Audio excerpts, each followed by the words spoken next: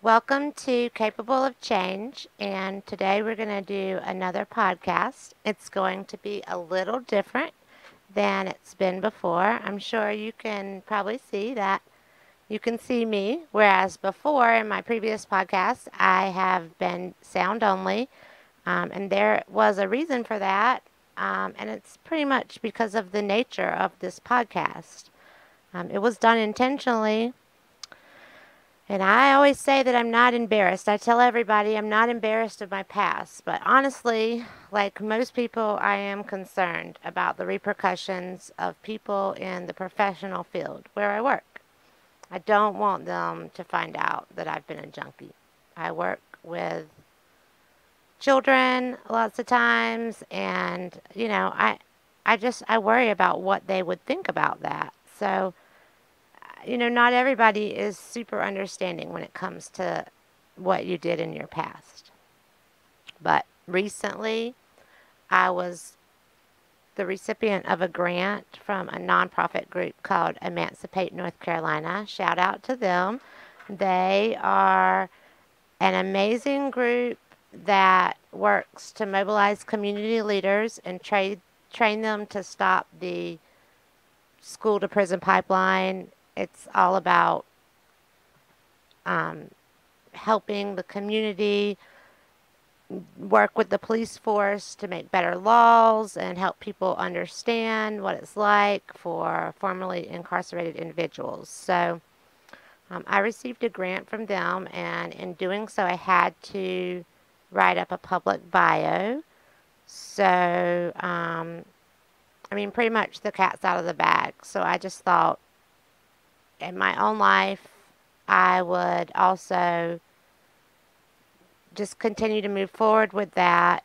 And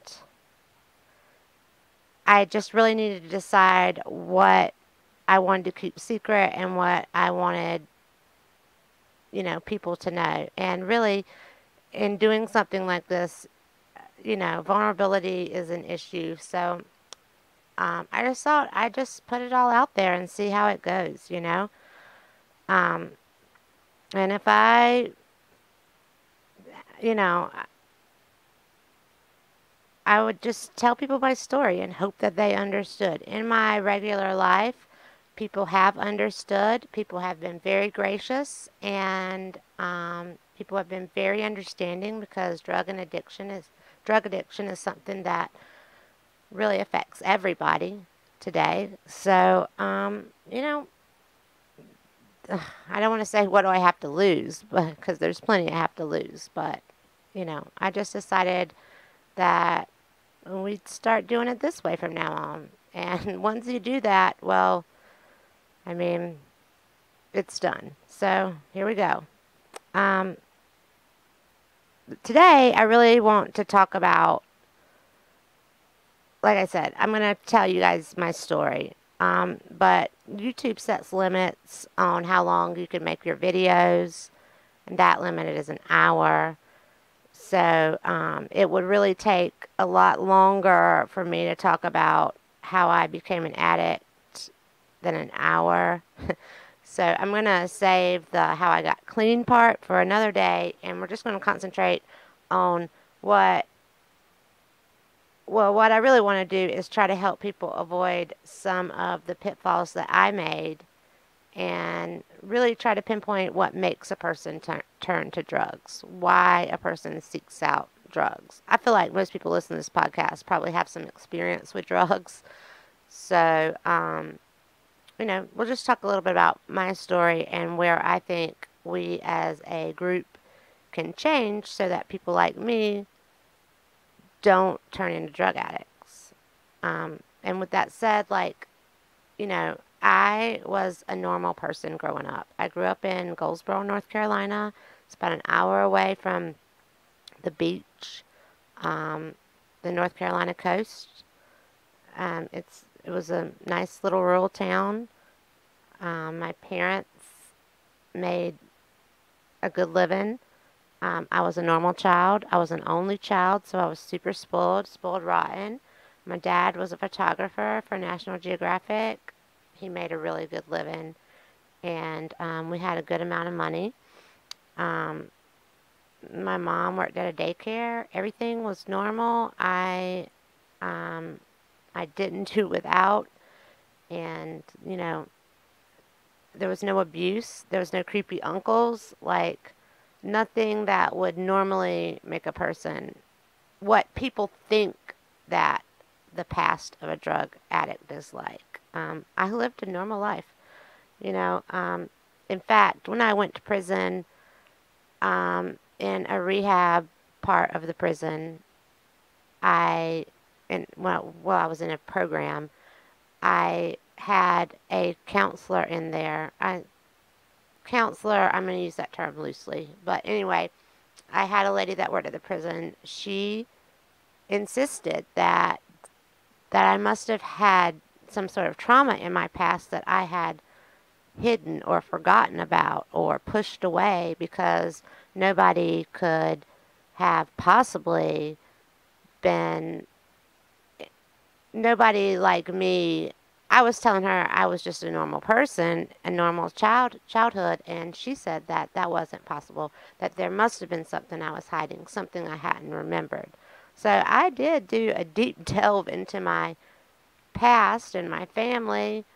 Um, it wasn't really too deep because you know I had a normal life. Like there wasn't anything to hide. Um, so I mean, I did drugs because I chose to do drugs. I wasn't trying to like cover up any shame or any any issues, um, any trauma. I mean, even though some people really think that that's the only way you can possibly be a drug addict is because you're trying to run from something. Yes, later on, after I had been doing drugs for many, many years, then it had compiled, and I was upset with myself and hated my life and upset about the things that I had done and ashamed of the things that I had done. And that kept me in the drug game. But it didn't start out that way.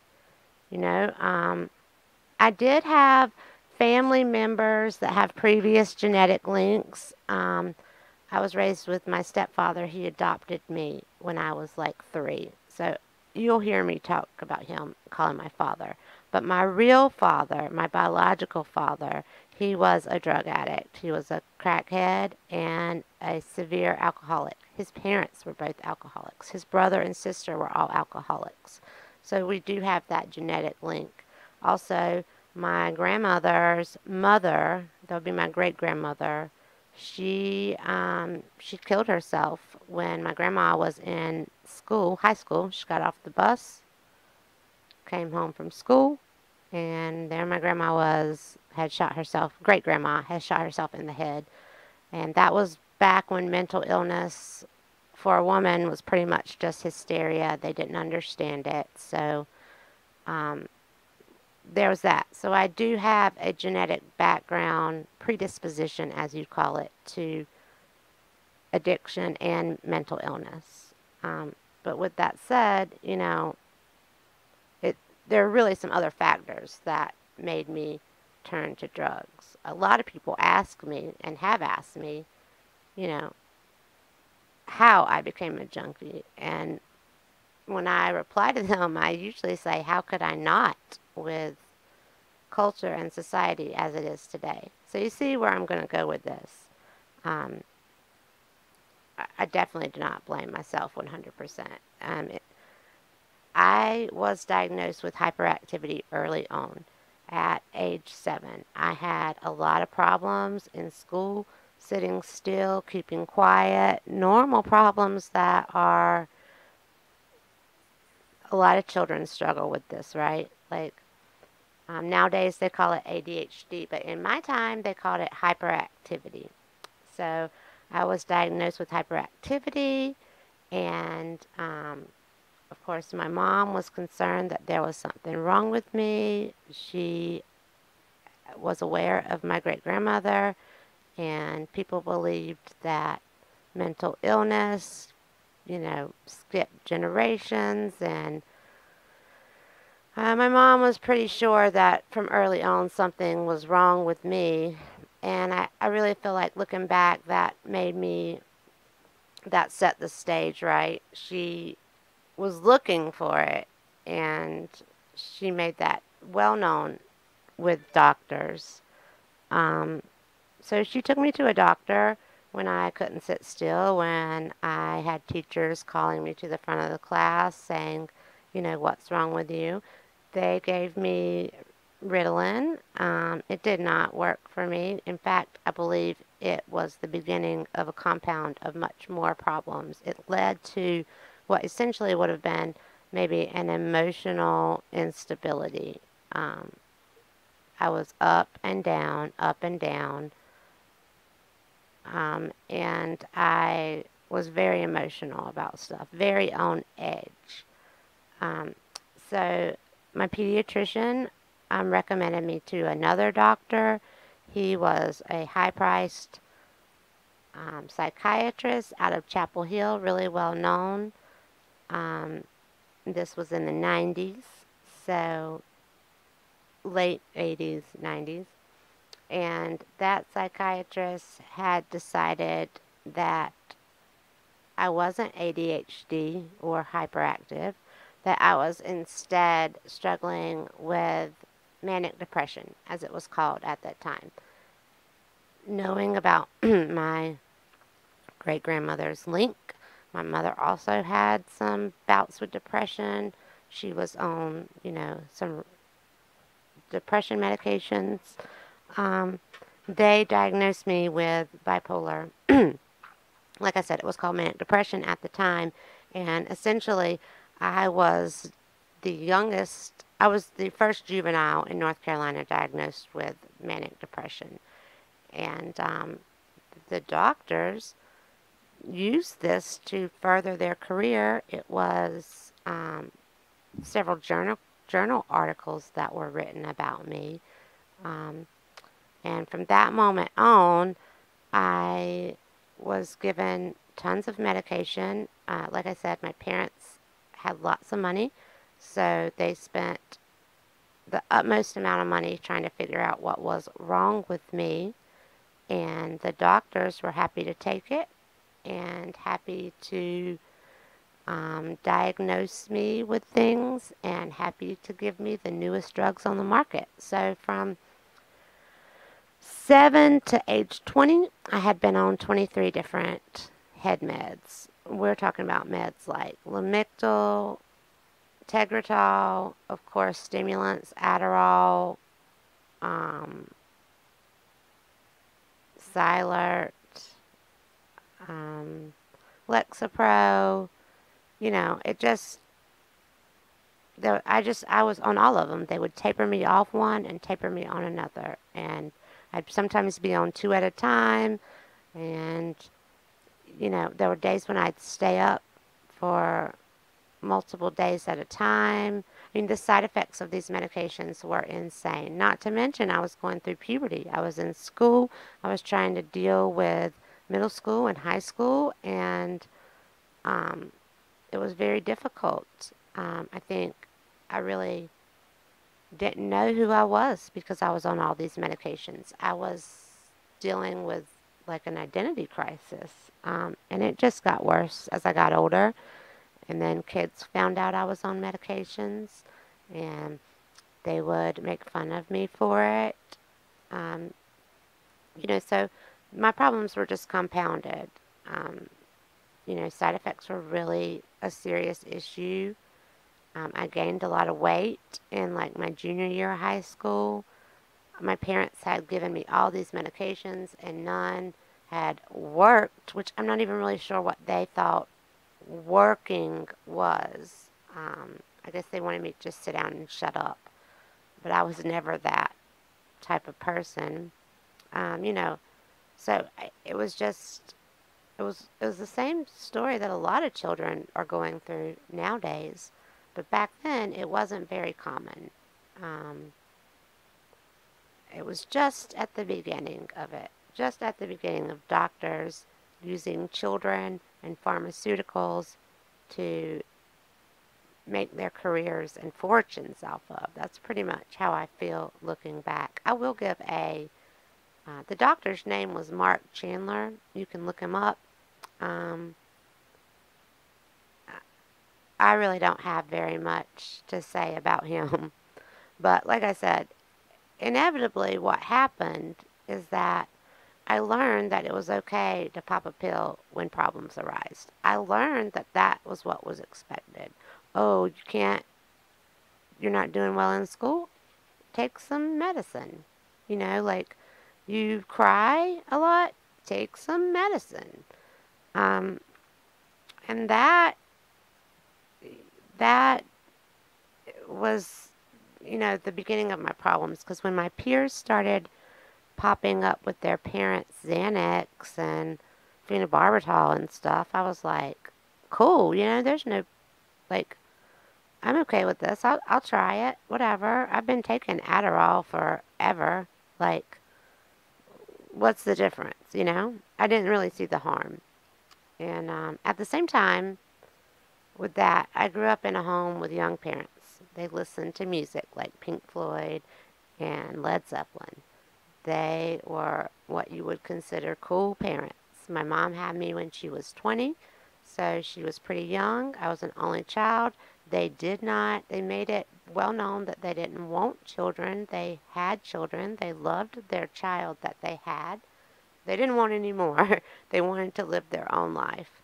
And, you know, I grew up in a time where it was cool to we listened to Kurt Cobain, Smashing Pumpkins, Sublime, Blind Melon. I mean, this is what people were into at the time. And Jimi Hendrix, all these people, it was just uh, the glamorization of drugs. Like, and, and nobody seemed to have a problem with it, you know. Um, you can listen to some Sublime lyrics now and all of Blind Melon's stuff now, and they're just completely talking about drugs, glamorization of drugs. And we just sang along to it as if it was totally okay. Um, I personally really idolized Courtney Love and Janis Joplin. I thought they were great. I listened to them every day. I actually was reading the Courtney Love autobiography whenever I was first approached with heroin. Um, a guy that I was dating at the time needed some money. I wasn't really dating him. I had started dating him. I did not know that he was a junkie yet. Um, there was a while where he was a junkie. I learned later, and I had not. He really did try to try to keep me off drugs. I mean, why wouldn't he? Because I was supporting him, his habit. I would let him borrow money. So if he got me strung out, he'd have to share, and the money would probably dry up. But um, eventually, I realized that he was a heroin addict. So when I was first presented with heroin, not only did I not have the ability to say no, I did not know yet how to say no, really, to things. I was, you know, concerned about what my peers thought about me. And I mean, I, I knew how to say no to things. I think maybe I just didn't want to say no. I glamorized it. I thought it was cool. You know, I thought that heroin was something that you could only get in New York City, that only rock stars could get. So when somebody popped up with some heroin in Goldsboro, I was just like, wow, this is ultra cool. This is ultra DL. Like, nobody knows about this. This is a secret. I want to be in on this secret. So, you know, naturally, I was super intrigued. I thought drugs were cool. I mean, we did the DARE and we had people come into our school. They were lame. So, even as a young child, I knew that they were lame and that they were feeding me a bunch of BS. So,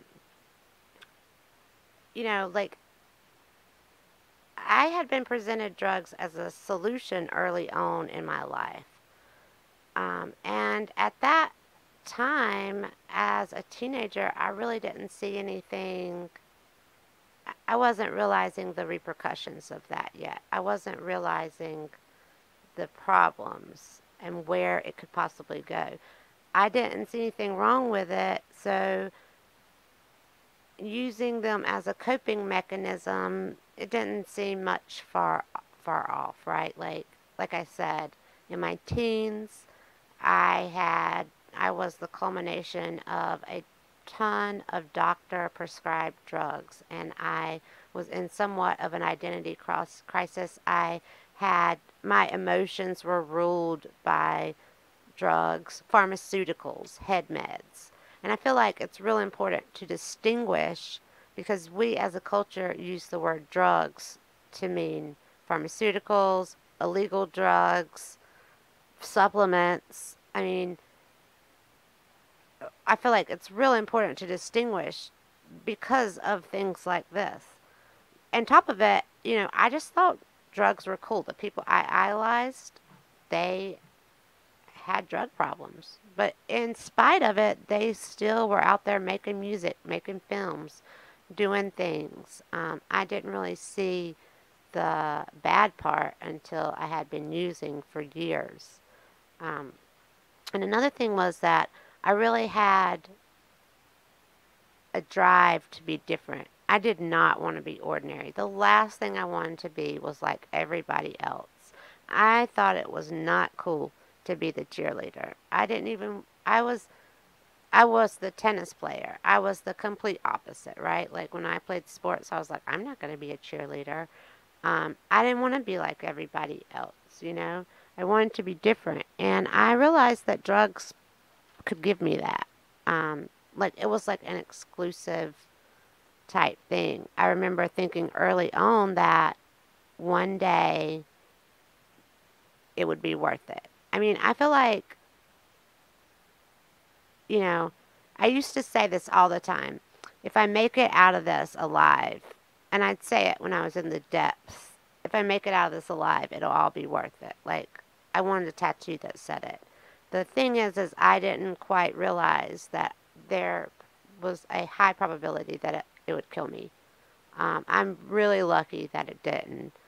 And um, I know that, like, some people, I've always really looked up to people who knew what they wanted in life. You know, there are some people, they're like, I'm going to be a lawyer. They go to school, they never have any hiccups. They become a lawyer. Life is good. 2.3 kids, picket fence, dog in the backyard. Everything is great. Um, there's people that are like, I'm going to be a rock star. And they go out and try to be a rock star. But maybe they don't make it. Maybe they do make it. But they never second guess whether or not that's what they're supposed to be. There's these people in the world, and I have never been one of those people, except for when it comes to drugs. I've always thought, even as a young age, especially as a teenager, that I was destined to be a drug addict. And not just a drug addict, a junkie. Uh, I always looked at cocaine and crack and meth as something different than heroin. I thought heroin addicts were not, I thought that they were maybe immune somehow. Like I only, I, it was so glamorized to me at that time that I only saw the benefits, what it possibly could bring. And um, you know, I, I, I just thought that I was I was going to be a drug addict, and that's okay, you know. And honestly, I am here on the other side, just like I knew I would be. So I somewhere deep down inside almost feel like that that was my destiny. Um, but in that, I have exposed so many people to drugs. And I have exposed them to a life of sorrow and crime and death in many cases, in which, had they never met me, had their paths never crossed with me, they'd probably be alive living their, you know, 2.3 kids and dog in the yard dream. I I don't know, but um, I do know that I have lost a lot of people from OD, um, overdose of heroin. I can there's at least more people than I could count on my hand. Um, just normal people, just like me, and why they lived and why why I lived and they died, I will never know. Um, and I've seen a lot of them die, and I have to carry it every day on my conscience. I recently just had somebody come visit me. They are homeless. They are have relapsed and are back doing drugs again. They are living a miserable life right now and it's my fault. I introduced this person to drugs. I showed them how to navigate the heroin game because it's it's not easy. It does take work, you know. But for me, drugs it was the only thing I was good at for a long time. I struggled finding something I was good at. I was no artist. I was no, like I said, cheerleader. Um, I was actually pretty good at tennis. I played tennis for a while, but you can't play tennis and be a heroin addict. that kind of goes once you start using. So um, I started using my senior year of high school and well I was exposed to it my senior year of high school and then I I would use every now and then with my friends, but eventually, like I said, drug addiction takes work. So, um, I really thought if I'm going to be an addict, if I'm going to live this life, I'm going to be the best at it that I can be. I know that sounds crazy, but that's just how I am. I'm really about being the best that I can be at everything I do. Even today, as a student, I have a 4.0. I will spend a ridiculous amount of time doing my work just because I want it to be perfect. And as a drug addict, I was that same way. I was going to climb to the top of that ladder. And I did. Heroin addiction, it was just really romanticized for me. I was like being a vampire. Nobody really wants to be a vampire. Nobody thinks about what it would require to be a vampire, but everybody thinks it would be cool, right? Like everybody like it's glamorized. So it was really a direct result of our culture. Um, we glamorize drug and drugs and drug addiction with movies like Blow, and you know, like with musicians like Kurt Cobain and Courtney Love, like that whole thing is just the glamorization of drug addiction. They leave out the part that, I mean, Kurt Cobain is dead. Um, you know, his life was cut short. So, Janis Joplin, life cut short. Jimi Hendrix, life cut short. These drug addicts, they didn't make it. But all we know as a culture is the works they put out and the story and the glamorization of their life and their drug addiction. You know, drug addiction is no ball game. It was literally 15 years of my life in hell. It was hell. It was a mental hell and a physical hell. It was an emotional hell. It was every hell that I could ever imagine rolled into one. It was super difficult. And now it's 15 years of my life that I've spent advancing in a game that I just quit. It would be like playing Monopoly for 15 years and then just walking away and turning the board upside down and just walking away. Like none of that time mattered. Okay, it did what I wanted it to do in the beginning, which was make me a give me depth. I really wanted to be I didn't want to be that like blonde chick that was just like a bunch of of just a pretty girl.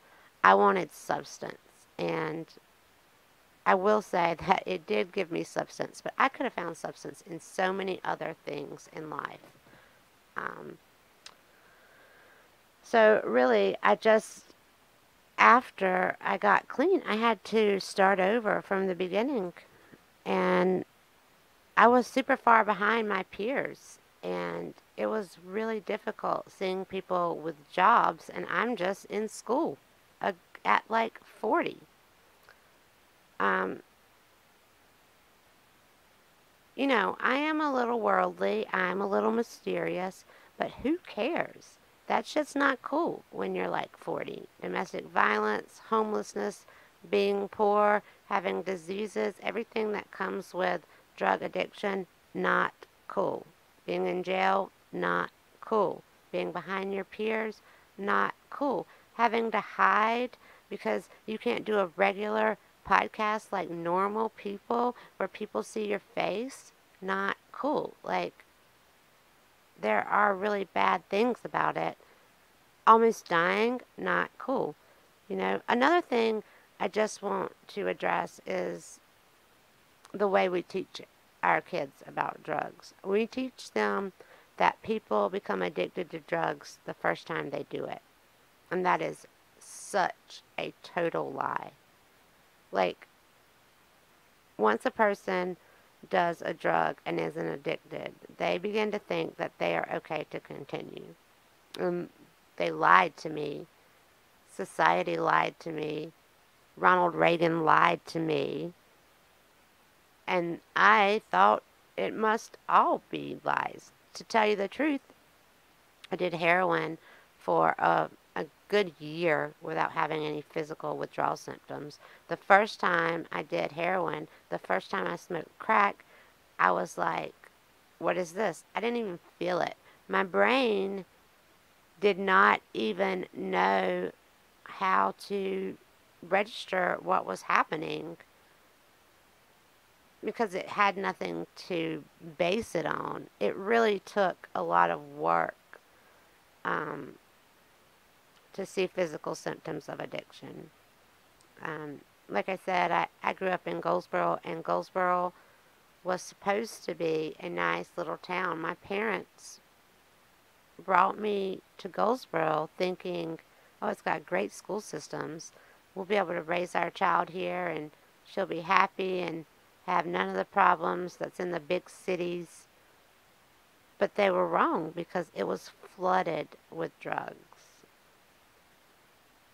It was just everywhere. We lived an hour away from Wilmington. Um, heroin was coming in on the ports and on the boats, and people were bringing it to Goldsboro. Um, and it was wasn't long before dealers realized that there was money to be made on all these rich white kids. And they set up shop in our town. And the police were too busy being racist and locking up crack dealers to pay it much attention.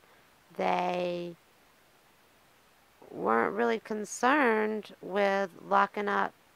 I mean, they didn't want to lock up young white kids. They actively looked the other way. There were many, many times they just let me go. They let me go because I was a young white kid with money. And there were many, many, many times they let people go with heroin. But if you had crack or cocaine back then, you might be in trouble. But you have heroin, they're just like, you know, get rid of it, quit doing it. Um, they would just, they would let it go. They were really, in Goldsboro, they're super racist, first of all. When I went to school, um, we were segregated. Goldsboro High School was 98% black. I went to Charles B. Aycock. It was 98% white.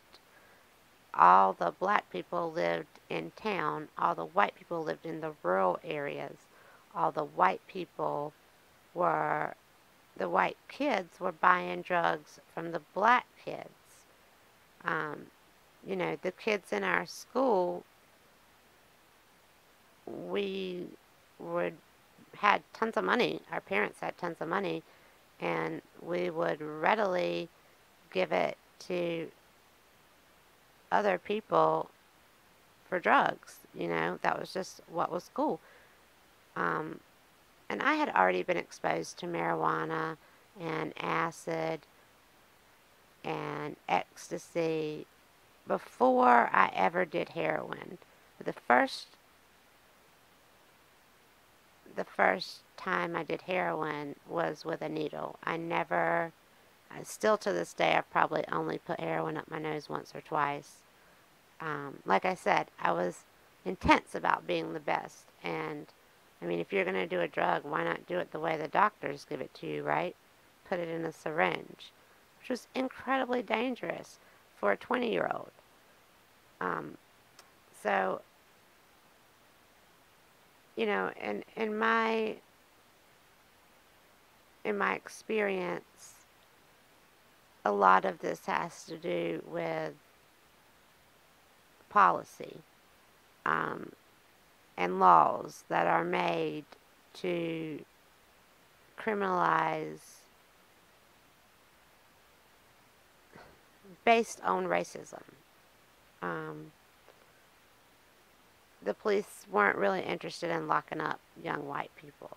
So there's a great video called Drugs What America Gets Wrong About Addiction and Policy. It's by Big Think. And I'll link it down in the comment section or maybe up in the cards or something so you can see it. It really spends a lot of time talking about our culture and the myth that we have sold to everybody as pretty much a just a bunch of BS. It addresses the myths surrounding addiction, including that you become an addict instantly um, I really want people to know that becoming an addict really takes a lot of work. And that's why some drug addicts have excellent work ethic. Um, because if you are not an addict and I told you to go get some heroin, what would you do? You know? Because it takes work, it takes skill to navigate that. And it's like a game of cat and mouse between the junkies and the police. So, you know, to wrap it up, the biggest contribute the biggest contributor to my addiction was the prevalence of juvenile pharmaceuticals in my life. Um, please don't give your children stimulants. Please try natural things therapy, behavioral modification, uh, supplements. Try anything you can without giving them stimulants. The actual act of giving them stimulants is really hard on their developing mind, but is also really shapes the way they think in the future. Um, and head meds. Like, don't give your kids head meds. I understand that there are children that need medications. They are severely depressed. They are cutting themselves. They are harming themselves. But there has got to be other methods, plenty of other methods that need to be tried first before you start drugging your child. And even adults, you really need behavior modification. I would have definitely benefited from some CBT or some sort of behavior therapy at a young age. But my parents were young and busy and concerned with their own life, and they're really looking for a quick fix, like most people are. Um, another thing is a culture that glamorizes addiction. I mean, we all are guilty of enjoying movies like Blow. I mean, they, they, you know, Narcos. Our TV's full of it. But I do think we're doing better at it today than we did when I was younger, in the 90s, in the 80s. Um, I guess there's so many new drugs now that it's different the when I was younger, we did a bunch of acid. I mean, I did start out taking acid and smoking pot first.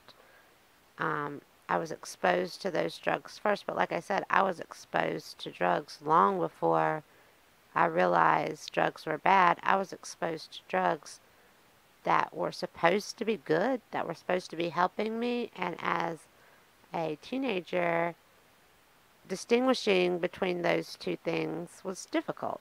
So um, I do think we are making positive strides. Um, looking back, I don't think anybody knew that the heroin epidemic would kill so many people. Um, and people are scared of it now, and it makes its way into media. But we still have a long way to go in in glamorizing addiction because we still do that quite a bit. And I really believe that. Like as an only child, I was into things that were too old for me. I hung out with a lot of older people, like most kids do, and I was exposed to things. I probably should have been watching Barney, and instead, you know, I was watching, I don't know, The Wall at a young age. Like my parents, I was just watching what they were watching, and they were really into rock and roll and, um, you know, like they were doing adult stuff. I was a child living in an adult world, so you know, um, that really contributed a lot to my views on drugs. And, and another thing that I had a problem, well, mostly, is that I wanted to be different. I wanted to be cool. I wanted to fit in. And we all want to fit in. We all can succumb to peer pressure. But I feel like um, I really wanted to be different. My parents, I was that kid, right, that everybody was wearing tapered jeans and I was wearing bell bottoms. Like, if you have a child like that, or you know a child like that, or see a child like that, you really need to watch them because they are really susceptible to falling into the wrong crowd, as they say, right? So I really had a, a, a deep seated need to be different than everybody else. Um, and then finally, laws that put money over people. people. Um, and that's really the biggest problem that we have today, other than medicating our children with stimulants at a ridiculously young age. The laws are just a mess. I mean, policy is full of lies and myths. We tell people things like you become addicted to a drug the first time you try it, or we demonize it so bad. We equate marijuana with things like heroin. And it's just like completely different drugs. And once somebody smokes some marijuana, they're like, oh, this is not bad. This is actually pretty cool. Um, okay, bring on the heroin. Like, it's not like that, but something in your brain, like, clicks. It just kind of gets, like, watered down. And so I think we really need to be careful about the wordage that we use.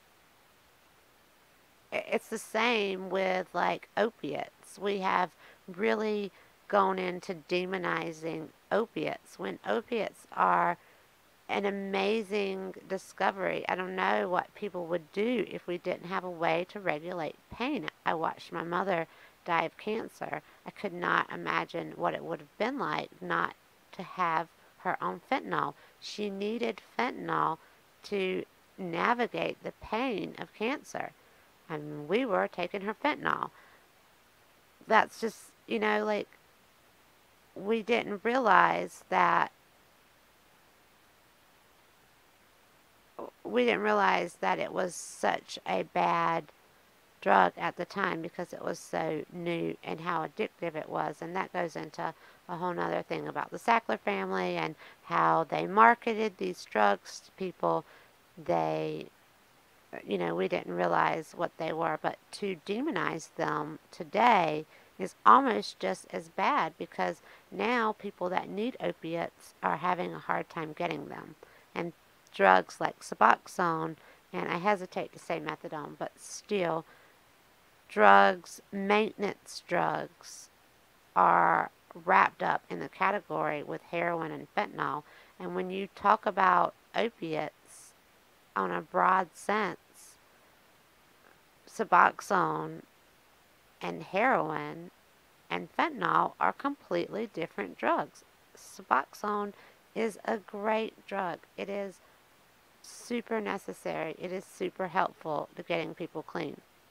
And we just demonize them all across the board. It's like I heard recently that I have a friend, she's a nurse, and she's been on Suboxone, and she's going to lose her job because where she works has a no opiate policy. You know, and it's just like, it's across the board, opiates are bad, which, you know, I don't believe they are. So I really feel like we should be very specific in our wordage when we come down to talking about drugs and drug abuse. Um, we should be honest with people about drug addiction. We should not glamorize drugs. And we shouldn't tell people that they're going to get addicted to heroin the first time they try it. Because when they do, and they don't get addicted to it, then they're like, okay, this is not that bad. I will just keep doing it. They lied to me. They lied to me about everything.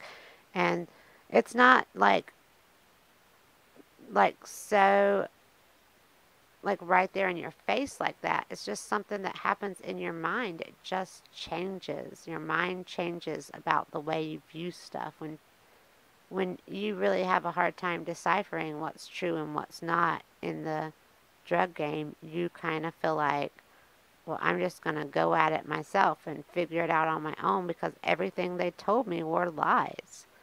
So, I mean, there are some real telltale signs looking back um, in my life about I think somebody could have known early on that I was going to have a problem with drugs if you look back. And there could have been some measures put in place to stop it. But overall, the problem was not with me or my parents. The problem was with society as a whole. And if we want to keep children off of drugs and alcohol, I also had a big problem with alcohol. Um,